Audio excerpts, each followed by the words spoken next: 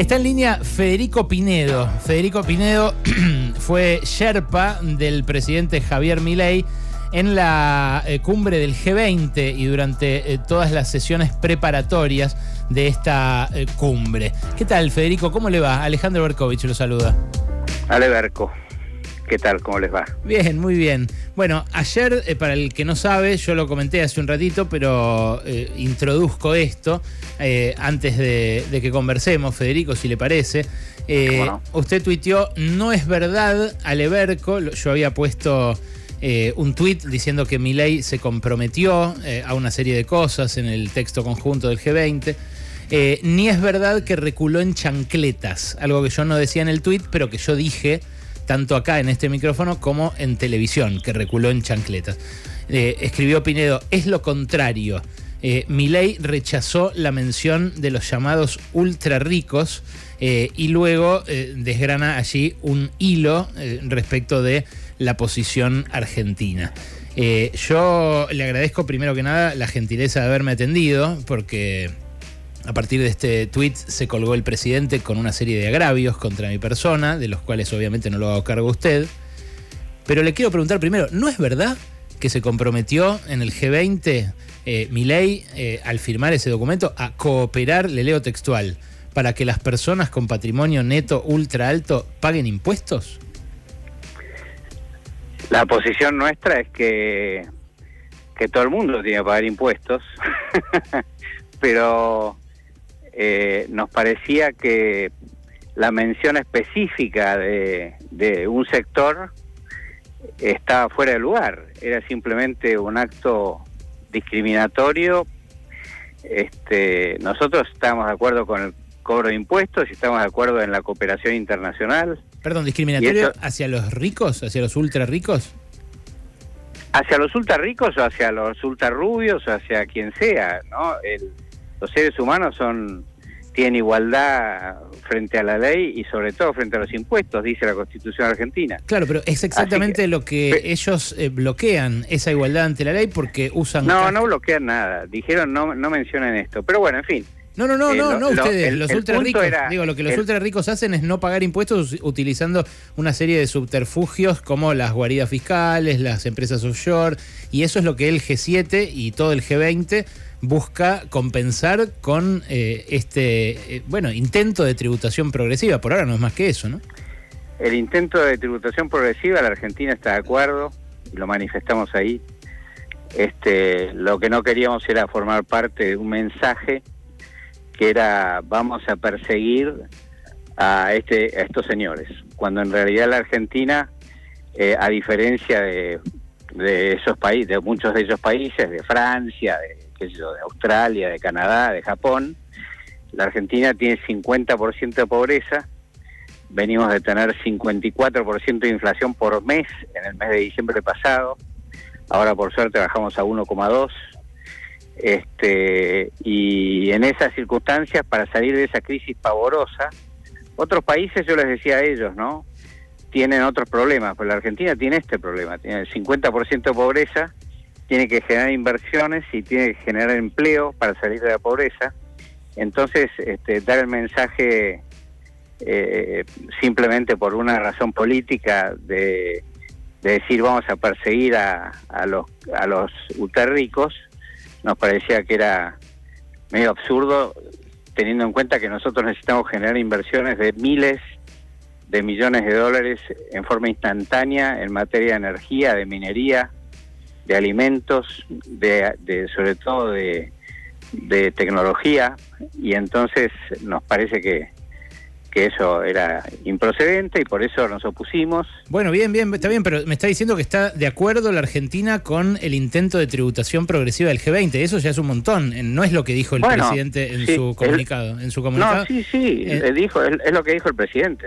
Eh, no, en su eh, comunicado dijo que ha dejado en claro en su participación del G20 que no acompaña varios puntos de la declaración. pero por supuesto, entre ellos eh, el esquema de imposición y vulneración de la soberanía de las instituciones de gobernanza global el trato desigual ante la ley y especialmente la noción de que una mayor intervención estatal es la forma de luchar contra el hambre. Por supuesto, pero por supuesto, eso, eso es lo que dijo el presidente. ¿Y, cuál, ¿Y, cuál, es el sentido, Federico? Yo, no, pero nos, conocemos, decían, nos conocemos hace muchos ver, años, no, Federico, pero, desde pero para, su época para, en el Simplemente lo que, lo que dijimos que no era verdad era que había reculado en chancletas y que había apoyado la mención de los, de los ultrarricos. No lo hizo. Sí, lo hizo. Y, y, no, no lo hizo. Bueno, y, pero usted me está diciendo que está de acuerdo con no, la... pero, pero eh, pará, estamos hablando de los ultrarricos. Déjame que te explique cómo es. Este, no lo hizo, hizo lo contrario, presentó una disidencia parcial, una disociación parcial, se llama en lenguaje diplomático, respecto precisamente de la mención de categorías específicas de contribuyentes como esta de los ultrarricos. ¿Dónde, ¿Dónde, consta esa disidencia, Pinedo? Porque... Esa disidencia consta en que la Argentina presentó el día de ayer una nota formal a la presidencia de, del G20 con copia a todos los representantes de todos los países del G20 pidiendo que se registre junto, junto con la declaración general porque lo expresó el presidente de vía voz en el recinto. Nosotros nos disociamos parcialmente de esto y de esto y de esto. Ese era uno de los temas. El, tema que era más dramático, creo yo, de la disociación argentina, que lamentablemente fue en soledad de la Argentina, era el tema de, de, de Israel, ¿no? Nosotros lo que dijimos ahí era que, que era imposible hablar de la situación de la guerra de Medio Oriente sin mencionar a, uno de los actores fundamentales, que son los que dicen que tiene que desaparecer el Estado de Israel. Y, y bueno, el resto de los países no los mencionaron, ni Irán, ni a Hezbollah, ni que son parte esencial del conflicto. Y entonces la Argentina en soledad hizo esa defensa, ¿no? Eh, esa es la parte central de la disidencia argentina. Y después hay dos o tres más. Pero Pinedo, ¿qué sentido tiene firmar algo eh, en conjunto con, eh, con, los demás países que participan de una cumbre y después eh, sacar un comunicado diciendo todo lo contrario el mismo día? No es, no es un comunicado, se firma en disidencia. No. En realidad no se firma. Claro, esa disidencia, esa disidencia no constó, ¿eh? Yo he, he leído todos bueno, los diarios. No, me, de... no, me, no, Berco, no, no es así. A ver, los, los diarios del mundo, los, los, diarios del mundo. ¿Vio los diarios internacionales? Yo lo hice. ¿Vio, yo vio lo el, hice. Pero usted vio ayer el Financial Times, vio el, el, el País de España. ¿En alguno no. consta alguna no. disidencia de algún país de los de la cumbre? Porque los títulos dicen los líderes del ver, G20 se comprometen garantizo, a luchar contra la eh, inequidad impositiva y contra la ilusión fiscal por parte de los megamillonarios. Lo que yo te puedo garantizar es que yo sé más de eso que el Financial Times y el País de España.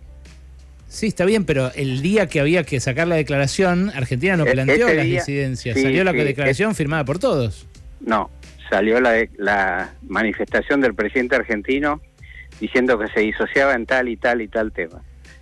La disociación es un proceso normal en, en, la diplomacia. Todo el mundo sabe que se todo el mundo se ocupa de ese tema. Parece que el Financial Times y el país de España no, no, saben, pero los que se ocupan de esos temas saben que la disociación parcial es un mecanismo normal de la aprobación de documentos internacionales. Eh, ahora, vos decís acompaño con esta diferencia y eso es lo que hizo la Argentina. Eh, bueno, eh, la verdad, eh, insisto, no, no consta en el comunicado final del G20, que es el que recoge. No, te cuento, te cuento lo del comunicado. Este, el Brasil eh, tenía, quería poner esas palabras que nosotros nos oponíamos. Sí. Eso es lo que llama líneas rojas, que quiere decir no cruces esta línea. Pero bueno, decidieron cruzarla igual. Cuando alguien cruza una línea roja de otro país, rompe el consenso. Es lo que hizo Brasil en este punto. ¿Cómo? ¿Lo puede repetir? Cuando alguien cruza una línea roja de otro país, sí. rompe el consenso. El consenso en los documentos internacionales es el mínimo común denominador. Cuando un país dice no cruces esta línea porque porque eh, rompes el consenso, la cruzaron. Claro, lo que no es habitual es que cuando alguien dice que hay una línea roja y el otro cruza la línea roja, el país que había amenazado al principio, en todo caso con no adherir o no firmar, firme igual. Eso es lo que hizo Milei. Para, bueno, bueno, pero en eso consiste porque el mundo es un poquito más complejo de lo que te imaginas así a primera vista. No, yo conozco eh, el mundo, nosotros, Pinedo, hace 25 no, no, pero, años que nos conocemos, he ido a cumbres si no de esta. He ido a cumbres si no de esta. Hablar, no, está bien, pero si no, me, diga, no, me diga, que es más complejo porque ya, le, ya arranqué la conversación de un modo muy amable para hacer que usted dijo para hacer que usted dijo que yo estaba mintiendo, cosa que siento todavía no me demostró. Bueno, te acabo de mostrar que vos decías que habíamos reculado y la verdad que no reculamos. Aprobamos el documento con nuestra diferencia, con nuestros puntos de vista. Pero no fue un comunicado para el consumo interno, para la tribuna que sacaron ustedes, porque digo, ¿por qué alguien sacaría, ¿por qué alguien sacaría? explicar te acabo de explicar que lo presentamos formalmente en el G20, te, lo acabo de explicar. Claro, pero no sale publicado como No sale el Financial Times, pero el Financial Times no es la Biblia. No, no, no sale es tampoco... Un diario unos señores que no, sabrá cómo, funciona el mundo. No, bueno, no, sé, es que no sale tampoco en lo que informa el G20 como conclusiones de una cumbre tan importante. Bueno, te estaba tratando de explicar eso. Bien. Brasil nos, nos, nos dice, eh, podemos mencionar en la presentación el presidente Lula diga que la Argentina tal cosa, toma tal posición. Y yo le dije a, a mi colega sí. que la Argentina quiere decir algo, lo va a decir la Argentina. No le va a pedir al presidente de una potencia extranjera que diga lo que la Argentina piensa. Lo que la Argentina piensa lo dice la Argentina. Y así fue. Eso es lo que pasó. Acordamos que el presidente Lula le iba a pasar la palabra al presidente Milei cosa que hizo, y el presidente Milei dijo lo que tenía que decir, cosa que constó. Y inmediatamente después presentamos la nota formal para que se registre de forma conjunta en el G20 el, el ¿cómo se llama? la declaración sí. y la diferencia. Ya hubo un antecedente que fue un antecedente de, de los Estados Unidos en Indonesia hace unos años. Yo me imagino. Así que eso es lo que pasó, eso es lo que pasó. Bueno, sigo... lo, lo, aprobamos con nuestro punto de vista, con nuestras diferencias. Eh, yo no, quiero centrarlo en mí, no quiero personalizar esto, porque me imagino que hay gente a la que, realmente le importa qué, qué pasa con la relación entre Argentina y Brasil, que es nuestro principal quedó muy bien. y con el resto del mundo. Tenemos una, eh, tenemos una relación de país país enorme y tenemos una relación eh, personal de conocimiento eh, entre nosotros muy profunda. ¿Y por qué Lula puso esa cara cuando lo eh, saludó a Milei? Bueno, Milei no tiene buena relación con, con Lula, o Lula tampoco con Milei, pero, pero bueno, esa es una relación de dos personas. Pero la relación de los países me parece que se fortaleció porque la Argentina consideró que más importante que las diferencias era mantener el G20 en un momento de muchas guerras y de mucha mucha crisis y mucha gravedad este, mucho sufrimiento humano y entonces dijimos es muy importante preservar el G20 para que sea un canal de diálogo que es entre países tan diferentes como Estados Unidos, Rusia, China, India claro, o la Argentina. Eh, y entonces por eso nosotros dijimos vamos a, no vamos a obstaculizar, textuales palabras, la aprobación de una declaración del G20 y vamos a darle el ejemplo al G20 de que a pesar de que se cruzaron las líneas rojas argentinas, nosotros priorizamos lo que es más importante y manifestamos la disidencia en forma parcial. Y eso es lo que hicimos. Ahora, eh, habrá gente que está de acuerdo con nosotros, otra que no. Pero yo te diría que la relación de Argentina y Brasil se fortaleció ayer. Es una lectura, la verdad... Eh, la doy por, la, por las conversaciones que tengo con el canciller brasileño, con, con el Sherpa brasileño, con bueno, alto nivel de Brasil. Me llama la atención por, la, por las caras, insisto, pero eh, aquí está, mi, está mi compañera Gabriela Vulcano, que también le quiere preguntar. ¿Qué tal, Federico? ¿Cómo está? Eh, quería saber en los hechos qué implica eh, el hecho de que se haya cruzado estas líneas rojas que usted menciona. Y significa que es una situación difícil para el conjunto, este, porque típicamente esos documentos buscan respetar lo que es inaceptable para algún país. Lo que pasó en este caso, para ser justos, es que había líneas rojas cruzadas, ¿no? Unos iban para el norte, otros iban para el sur. Y entonces no, no había una, una forma limpia o fácil de, de, solucionarlo. Y al final, este, algunos que decían que íbamos a romper el G20, qué sé yo, bueno, no contaban con este mecanismo que nosotros utilizamos, que que era el objetivo que teníamos. El objetivo que teníamos era preservar el G20, ser serios, ser profesionales. Nosotros tuvimos toda la semana pasada una campaña de prensa muy jorobada contra la Argentina en, todos los medios de Brasil. diciendo que la Argentina era un país que se quedaba aislado internacionalmente, que, que estaba en contra de, de los pobres, no sé qué. Y bueno, final, y que íbamos a romper el G20. Y bueno, finalmente nosotros no contestamos nada durante una semana de insultos que tuvimos. No sé si insultos, pero bueno, esas agresiones. Y no contestamos nada porque éramos profesionales, pues estábamos negociando. Y nosotros cuando estamos negociando somos serios y no vamos a la prensa a hacer chismes. Así que ni siquiera contestamos en la prensa argentina. Y así que fue dura la semana pasada. Pero al final pasó lo que nosotros queríamos que pase. Pero, eh, perdón, lo Pinedo. que trabajamos. Pinedo, usted eh, recién me decía, elegimos preservar el G20. ¿En algún momento Argentina evaluó romper? No, nosotros no, pero los medios brasileños, con fuentes oficiales, decían que la Argentina iba a romper, que qué sé yo, la cantidad de cosas que decían, agarrar los medios de Brasil y muchos medios argentinos hicieron eco de eso. Este, y nosotros manteníamos la profesionalidad de no contestar y de no hablar con la prensa, porque eh, no, no, es una, no, no existen las noticias hasta que las noticias existen.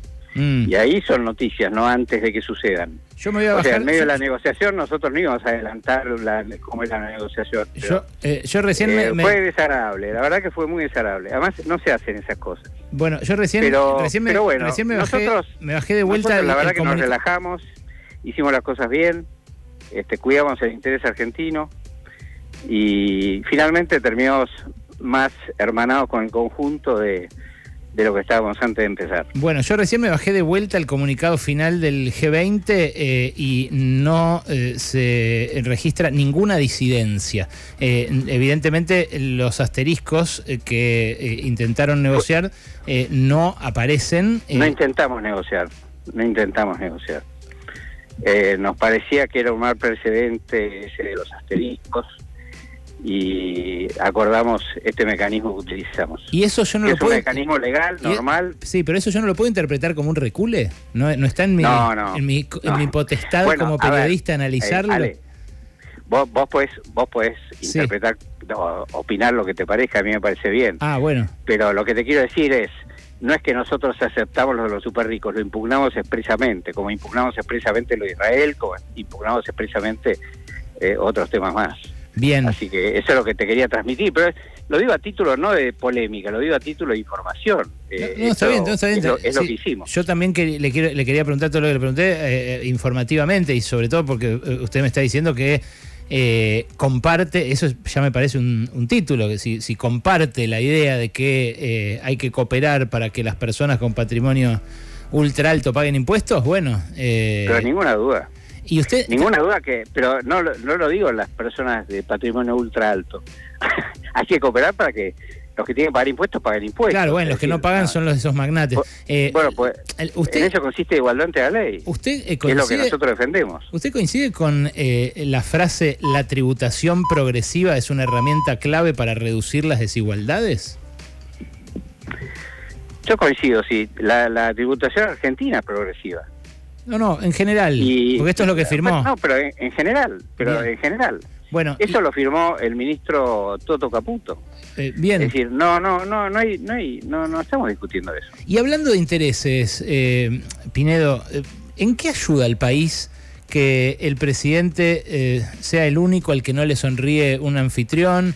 En que se vaya, por ejemplo, como se fue de la cumbre del clima, donde encima se reparte plata, los países ricos reparten plata a los países como el nuestro para mitigación del cambio climático. Eh, ¿Cuánto hay ahí de interés nacional? Bueno, lo, que- lo que pasa es que las relaciones personales influyen en las personas, ¿no? Sí, claro. Eh, y entonces eh, lo que ha pasado es que ha habido un intercambio de, de agravios entre los líderes de Brasil y Argentina eh, que genera ese tipo de vínculo. Mm. Pero bueno, ¿qué vamos a hacer? Eh, Y pedir a partir de ahí igual tenemos la responsabilidad de construir un país mejor y una relación mejor. Mm. Y bueno, en eso trabajamos. Y te garantizo que lo trabajamos con, con muy buen ánimo con nuestros colegas brasileños, ¿no? Eh, como te digo, esto fue duro lo que pasó, Mm. Pero terminamos más amigos que al principio. Así que, ¿Y lo otro? son gente profesional también, Sí, claro. y son buena gente, y nos conocemos de hace muchísimos años, y nos, nos apreciamos humanamente, y bueno, Así que eso funciona. Bien, eh, lo otro que le pregunté, lo de la cumbre del clima, ¿tienen opinión formada sobre eso? Clima, la, la Argentina no se está disociando de la cumbre de la del Acuerdo de París.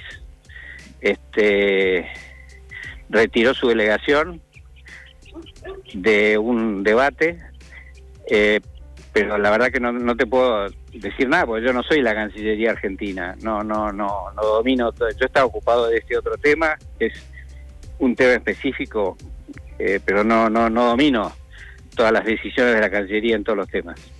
Bien. No sé, si te dijera algo, lo único que sé es que retiraron una delegación oficial para de, de un debate que se estaba produciendo, pero también sé que la Argentina no se disocia de, de la conferencia del clima de París. Pinedo, gracias por este rato que se tomó. Le mando un abrazo y bueno. Un, eh, eh, un abrazo a ustedes, que anden eh, bien. eh, gracias por el, también por la, la cordialidad del intercambio. ¿eh? Por favor, un Hasta abrazo. luego. Era Federico Pinedo, el encargado por Argentina de negociar los textos, el Sherpa, el guía del presidente en esta cumbre que terminó ayer, eh, cuyo tuit reprodujo Milei anoche para decirme que soy una basura mentirosa. Alejandro.